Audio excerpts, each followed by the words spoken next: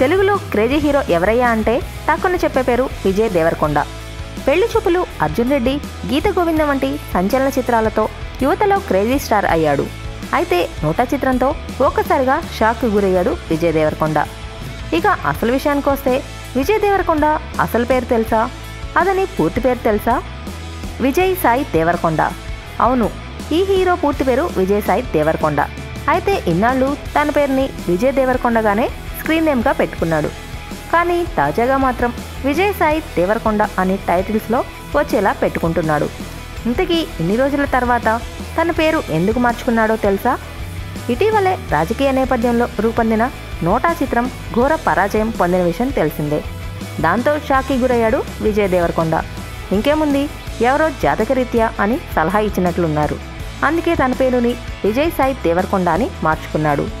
తాజాగా క్రాంతి మాధవ్ దర్శకత్వంలో కేఎన్ రామారావు నిర్మిస్తున్న రొమాంటిక్ లవ్ స్టోరీ చిత్రంలో తన పేరు కూడా మార్చుకున్నాడు. ఇన్నాళ్ళు విజయ్ దేవరకొండ కాగా ఇక నుండి Vijay Sai Deverakonda. For interesting more updates please subscribe our channel